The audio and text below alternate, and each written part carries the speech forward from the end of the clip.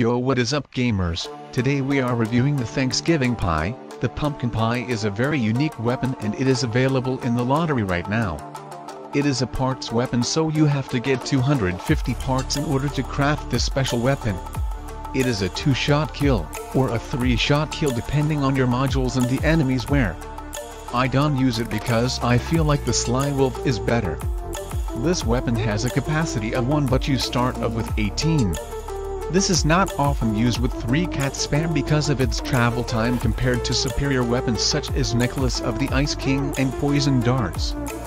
This has no input delay or output delay but it has travel time.